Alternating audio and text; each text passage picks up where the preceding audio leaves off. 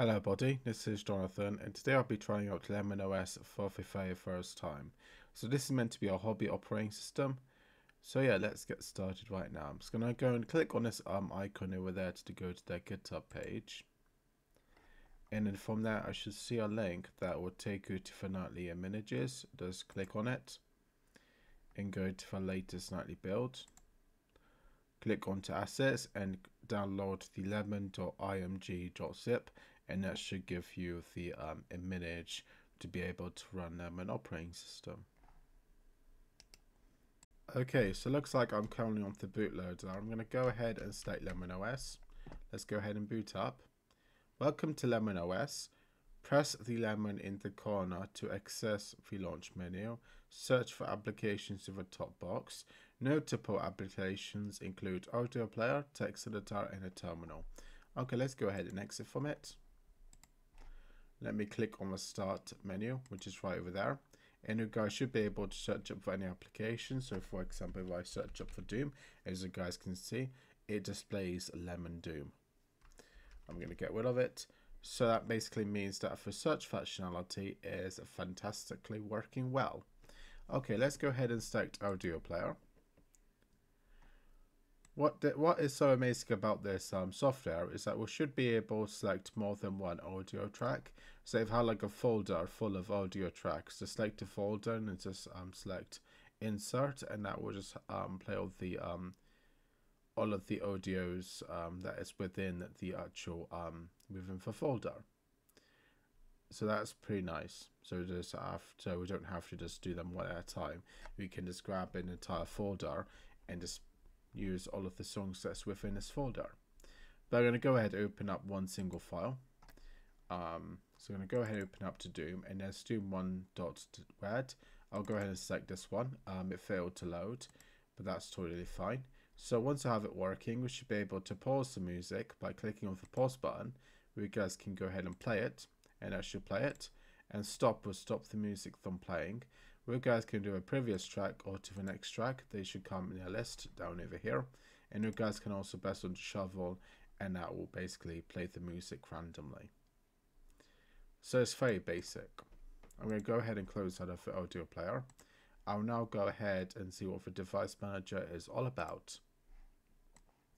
Okay, so I would assume that it would just show up all of the devices that's currently connected to the system and it's not displaying anything. So I think that is something that I'm currently working on. I'm going to go ahead and close out of it. Let's go and check out the file manager. Okay, so this is a file manager. It looks very basic. We can open up any um, files and any folders that want to open up. So yeah, we'll just double click on all of these folders. You can go back to a root directory by click on this dot folder. Um, yeah, it's basically a very um, simple file manager. And it works perfectly well. I'm going to close out of the file manager. I'll go back to the taskbar and now I'm going to be trying out the GUI test which should show up all of the buttons as well as the text and all the graphics as you guys can see. So we can see what um, how it basically looks. How it should look with those buttons as well as the search box. So that's pretty cool.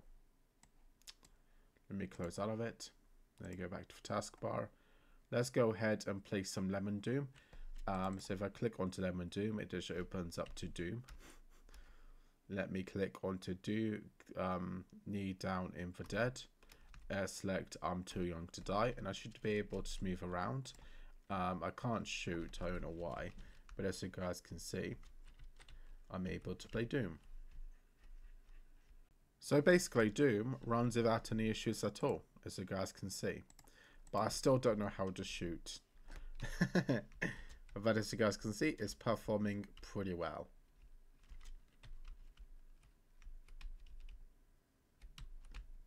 I'll go ahead and exit by selecting quit game. Why, yes.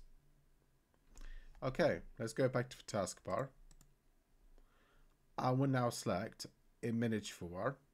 If we double click on it, it will ask you to open up to a um, image file. So I'm going to click onto Lemon. I will click onto Lemon D. Actually, let me go back. I will go ahead and select resources maybe. Yep. it's in resources. I will go ahead and select banner.png and as you guys can see it is working perfectly fine because it displays the um, the banner. We guys can go to file and we guys can click onto open and that will open up to another image.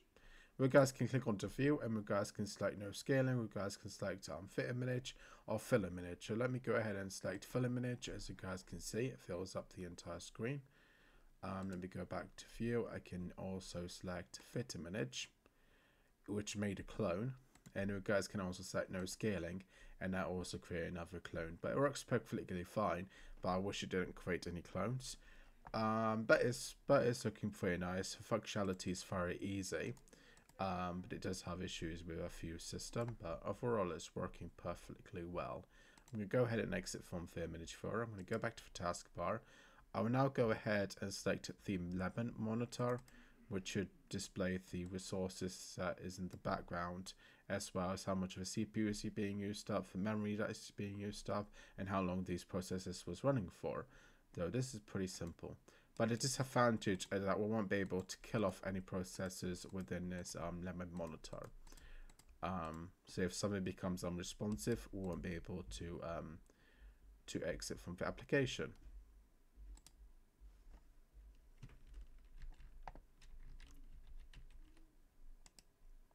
Okay, let's go back to the taskbar and let's go ahead and play some Minesweeper, our classic Minesweeper game. And now this is the game. So basically you need to click on these boxes and make sure don't hit a bomb. And I did hit a bomb and it says game over.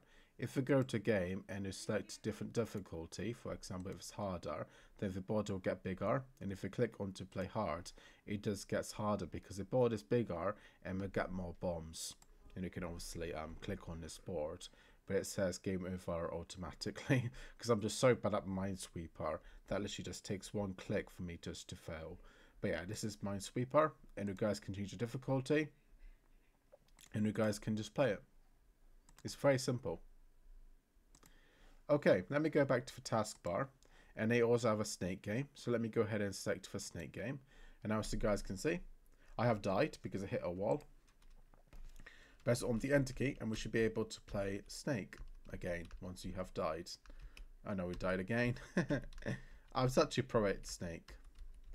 I used to play on my old Nokia phone when I was like um 12.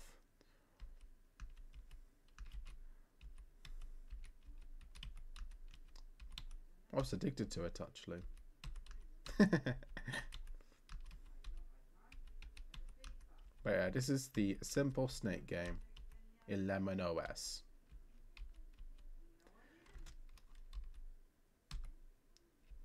SS is meant to be like a lemon stuff themed operating system. Why is the white ball um, not a lemon?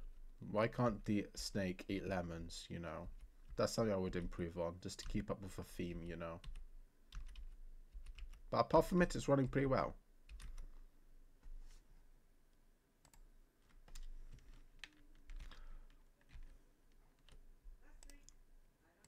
Okay, so let's go ahead and try out the other application and we'll be trying out for system information and I would assume that it just shows up um, what version we're running of Lemon OS. Uh, it looks like we're running the alpha and it shows up the total system memory and how much of it is being used up but it doesn't show up anything like um, the CPU or what graphics card you're using. It just shows up um, some basic information. Um, so that's pretty nice I'm going to go ahead and close out of it. I'll now go back to the taskbar and I'll be trying out the text editor before I do try out the terminal. So the text editor will allow you to write down a new um, document. So I can type down something completely random here. So I can do something like, um, oh wait, I can't use capital letters. Okay, that's a shame. Um, you could do something like hello world. I am, I can create a new line, Jonathan Stedman. I can go ahead and click onto file and I can click onto save as and I can call it whatever I want to call it. So I can call this one um, getting away dot maybe txt as an extension. Click onto ok and that should allow me to save it which it ain't for some random reason. Um, it's not saving. Hmm okay I think that might be a bug. Let me cancel of it Um, invalid file path. Okay. Let me go ahead and save it. Um, I'm going to call this one um, hello. Oh wait, maybe if I click on to OK. Um, I just keep on getting invalid file path error message. Let me go back to file. Let me save it and I can maybe overwrite the um, hello.py file. Okay. So now if I go ahead and um, close out of it, if I go back to the um, text editor, if I go ahead and file and open up the um, hello.py, as you guys can see, it was able to be saved. But as I was unable to create a new file, so I had to overwrite the Python script. Hopefully this does get fixed in the future, but it's very simple and I love it so much. Just how simple it is to use. I'm going to close out of it and now I'll be trying out the terminal. And the terminal actually has a neofetch um, soft style to it. So if I write down something like lemon, fetch, as you guys can see, we have something quite similar to neofetch. It shows up what the operating system is, the uptime for CPU, the memory, the window manager for window manager theme for resolution, and the terminal. We can also do something like Nealon, cat, and that will should up the um hold on was it not Nealon a an cat? Now if press on the enter key it should show up this animation of a cat that came from the MEMZ virus. If I do control C I should now be able to do something like NASM maybe? Okay. So it does come in NASM um, does it come with Python? And what version does it come with? So if I type down Python maybe if I just put down for I think it does come with Python support, doesn't it? Um, but it doesn't seem like it's working. And now let me see if they have those basic functionality. So if I do ls, it's list out all of the directories as well as all the files. If I now do cd, and if I go into the Doom folder, this will allow me to go there. And it does. And I can do ls and it's list out everything that's within from within the Doom folder. So it does have some basic functionality that would expect it would have if it were from Linux, and it works pretty well. um, I would rate this operating system maybe a 6 out of 10. For user interface is pretty nice. It's meant to be like a lemon themed operating system. Um, obviously, there could be some improvements. Um, the application for the Lemons Manager, yeah. With a device manager, as you guys can see, it does not display the devices. It doesn't display anything, making the software useless. Um, so hopefully they will improve on that. I'm um, also Snake Game, make sure he does eat the lemons, um, just to keep up with the theme really. That would be pretty cool. Does the snake would be eating some lemons. Um, and there's a couple of issues with the text editor, but apart from it, it's a great operating system. It has a very nice user interface, and it's very easy to use in general. Anyway, guys, if you like this video, please put a like and please subscribe, and I will see you guys next time. Bye bye.